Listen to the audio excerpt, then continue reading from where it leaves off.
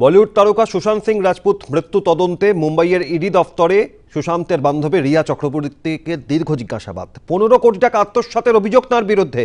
ইডির নজরে রিয়ার দুটি ফ্ল্যাট, জিজ্ঞাসাবাদ, রিয়ার প্রাক্তন ম্যানেজার শ্রুতি মোদী, তার ভাই সৌভিক চক্রবর্তী, রিয়া চক্রবর্তীর ভাই জানব বিস্তারিত। সৌরভ চট্টোপাধ্যায় আমাদের সঙ্গে রয়েছেন। সৌরভ, সুশান্ত সিং রাজপুতের মৃত্যুর পর থেকেই বারবার যে নামটা উঠে আসছিল এবং অবশেষে এনফোর্সমেন্ট ডিরেক্টরেটের জিজ্ঞাসাবাদ, আজ দীর্ঘক্ষণ এই জিজ্ঞাসাবাদে। ঠিক কোন কোন বিষয়ের উপর নজর রাখছেন তদন্তকারীরা?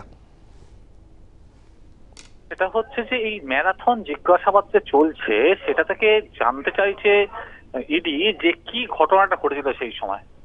এবং নিরন্তর প্রশ্ন করে করে করে করে যাকে বলা হয় যে ব্যাকফুটে করে দেওয়ার একটা চেষ্টা।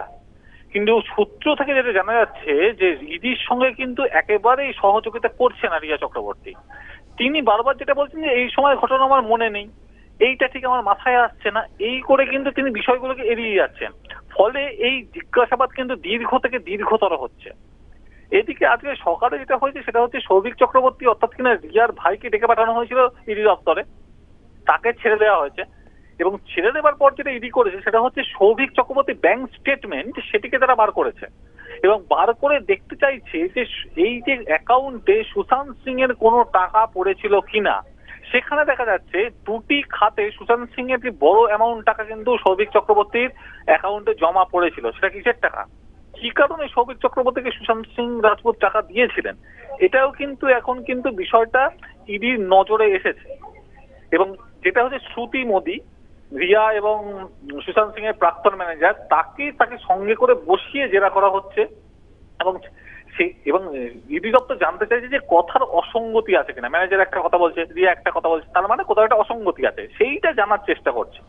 এবং এই যখন জিজ্ঞাসাবাদ চলছে, তখন রিয়া এবং সৌভিক, অর্থাৎ রিয়ার ভাইয়ের যে সংস্থা, সেখানে কিন্তু ইডি রেড করে। সেখান থেকে কাগজপত্রগুলো বাজেয়াপ্ত করা হয়েছে, সেখান থেকেও তারা সূত্র খোঁজার চেষ্টা করছে। ফলে সব মিলিয়ে কিন্তু বলা যায় রিয়া চক্রবর্তী এবং তার পরিবার রীতিমতো সন্দেহের ঘেরাটপে রয়েছে। অভিক।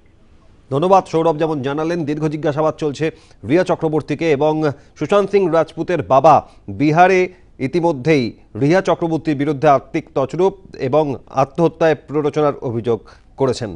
অন্যদিকে বিহার পুলিশের তরফ থেকে মুম্বাইয়ে যাওয়া হয়েছিল সুশান্ত সিং রাজপুতের মৃত্যু মামলার তদন্ত করতে। তারপর যাওয়ার পর এসপি পদমর্যাদার অফিসার বিনয় তিওয়ারি তাকে কোয়ারেন্টাইনে রাখা হয়েছিল এবং মুম্বাই পুলিশ কোয়ারেন্টাইনে রাখার পর বিহার পুলিশের তরফ থেকে তীব্র নিন্দা করা হয়েছিল। ফিরেছেন সেই এসপি পদমর্যাদার অফিস বিহারে। কি বলছেন তিনি দেখুন। नहीं ये मैं ये नहीं कहूँगा कि मुझे क्वारंटाइन किया गया। ऐसा नहीं है कि मुझे क्वारंटाइन किया गया।